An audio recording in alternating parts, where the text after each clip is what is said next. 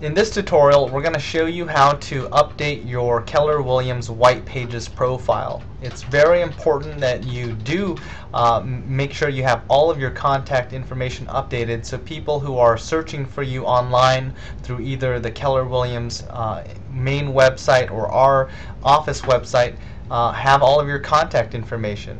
So as you can see in the top left hand corner, this is where your profile is. It should be a goal for you to strive to have this 100% completed. To make modifications and changes, you want to click on the Profile tab right here. Go and click that.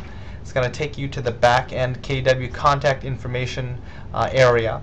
And the white pages is this first column right here. Of course, uh, this tutorial won't cover these other sections, but you should also go through and update these individually.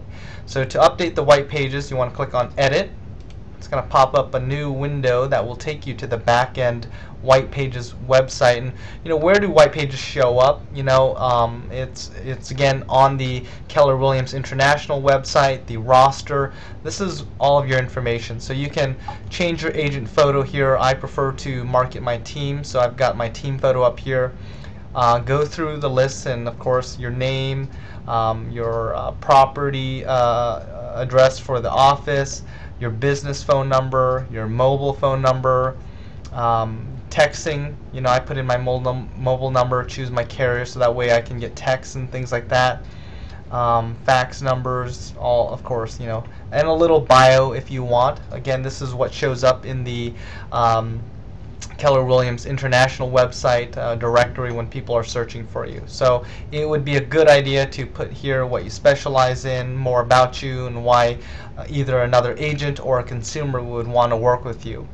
Um, here is actually the, you know, we each have an agent extension that takes us to our basically our e-agency website. Uh, you can find that actually up here, associate ID number, or you can look up your KWID from here.